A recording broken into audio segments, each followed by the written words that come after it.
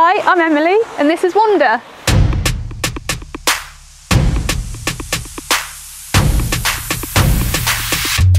Let's go. I have a Mercedes Sprinter 2007 long wheelbase. I've been in the van on and off since February this year because it's only been built since February this year. I've always wanted to be in a van. Ever since I was in high school, when I was about 15, I made the decision that I wanted to be in a camper van travelling around the UK and Europe. And at, I think I was 22 when I bought this van, so now it's actually happening. When I was a kid, I just used to camp in tents and a caravan once, but I didn't like a caravan. I don't know why, because there's not much difference between a van and a caravan, but I prefer a van over one that can't be moved with you all the time. I'm very lucky that my boss is also a van lifer. So it all ties in with me as well because he knows that I like to be in my van. So I can work remotely and go into like the office, which is the pub.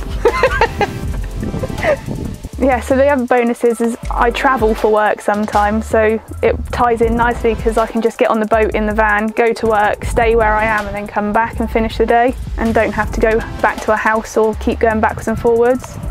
I currently have a house that I can live in and I do live in when I um, have very, very long days at work.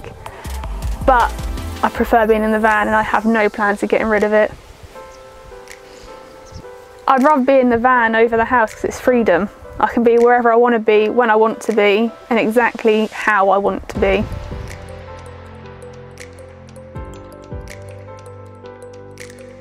Um, I built the van myself.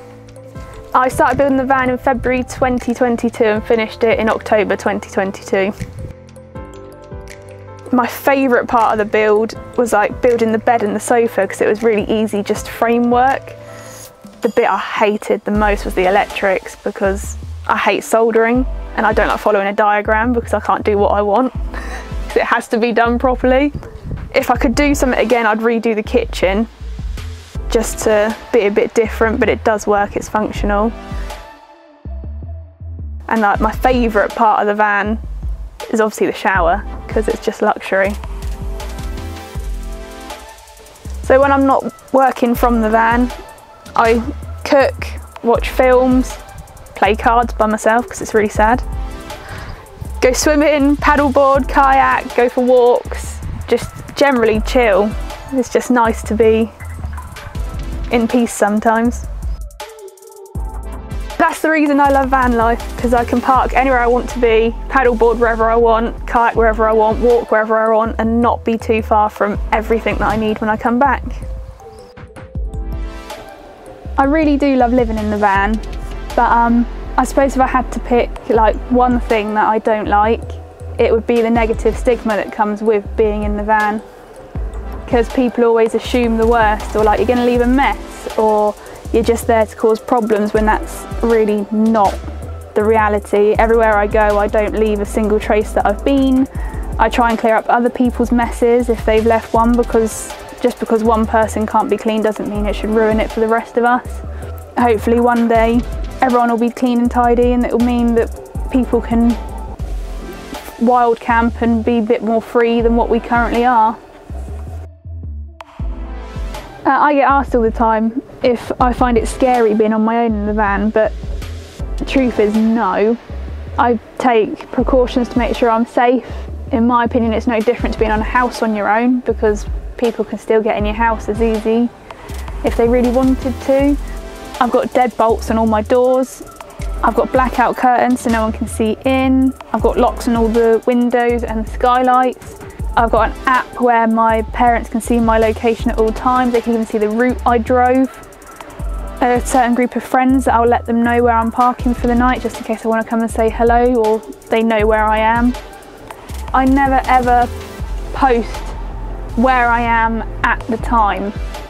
When whatever you see on social media is always a day or so late so that no one knows where I am so my next plan for the van after I put the diesel heater in, because it's getting a bit cold not to have one now, the next plan is to do seven months around the UK, starting obviously off the Isle of Wight and going down to Cornwall and up and round. and then going across to Europe to see how long I can do over there before my money runs out and have to come back for work. Advice for starting van life. Be prepared to fix everything because everything breaks from I've just literally just super glued my gear stick back on because I snapped the top of the gear stick off coming over the bumps. I've just super glued it. Um, and just be prepared that nothing is as simple as it looks. When you think a job's going to take you an hour, don't think it's going to take you an hour. Give yourself six because sometimes things don't go to plan, but it is so worth it because you get something, well, that's yours that you can be wherever you want to be with, and it's like a home on wheels.